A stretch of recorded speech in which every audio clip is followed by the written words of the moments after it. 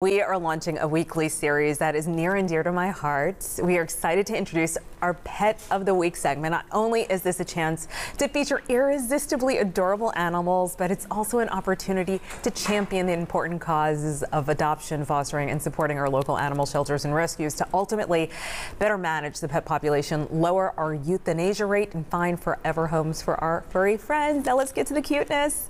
uh, not only is Nina Wingfield cute, but no, Nina's the president and Outreach Director of SPCA Memphis, joining us with Teresa Forbes, the Vice President of Blue Sky Dog Rescue, and we have a special handler for our tiny friend here. Thank you for coming, and you know, you are going to be bringing every week different animal rescues and, and introducing us to animals that need homes.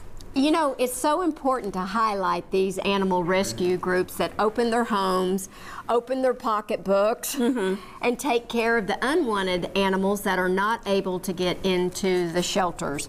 And who you have right now is Fancy, and I'm telling you, the sweetest. If, if I wasn't, you know, told not to bring a dog home today, Fancy would definitely be the one. She's 11 months old. She is Shepherd, Lab. I see maybe a little Rottweiler in her, mm -hmm. but she plays very yes. well in play groups. And we're actually going to have her and Layla. Layla is so cute. Look at that little look. Oh my goodness. Lay and Layla has a sister named Marie. and like Fancy has a sister named Sassy. You'll be seeing some other pictures.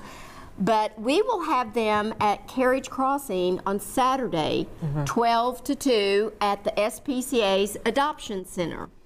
Well, let's learn about Blue Sky. So what area do you cover and what are your needs right now? I mean, what's going on? Well, um, as with all rescues, we always need any kind of donations. Mm -hmm. But we get most of our dogs from around North Mississippi. Mm -hmm. uh, that's where we're based. We will get dogs from other areas also. But um, yeah, we just kind of get them from any place. People will call and say, hey, do you have space? We found a dog dog wandered up to our house, whatever. And so that's how we get our dogs. And talk to me, uh, there are more dogs. You know, we couldn't bring them all in, right? We have pictures. Yes. Yes, and Fancy's litter was found in, in a, a, box, in oh, a box behind a dumpster at oh. a gas station. Okay, yeah. There were seven of them. Five and a half weeks mm -hmm. old. So that's a lot of care and commitment. There's little Marie. yes. Layla's sister. How sweet. Now, they're six months old. Okay.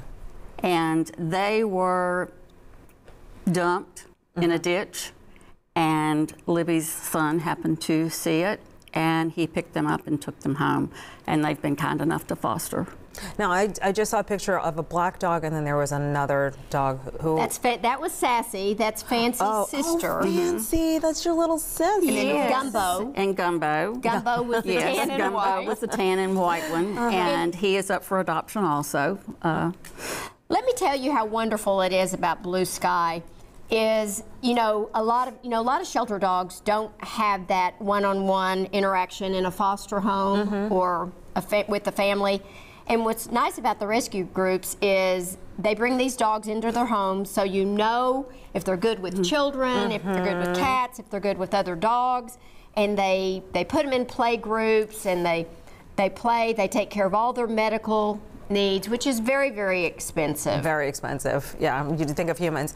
Okay, so what happens uh, when people either want to um, just somehow get engaged? It could be um, um, uh, bringing a dog in, fostering, or actually adopting or donating?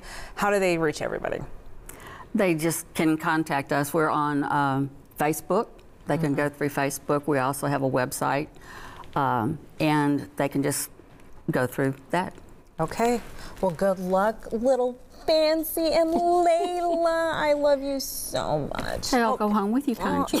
you don't understand. I am. I, I, was mourning the loss of my dog, and so now I'm, I'm, finally ready. I'm emotionally ready. So we're gonna. We'll find you one. We'll find I you one. I know you will. I know it. All right.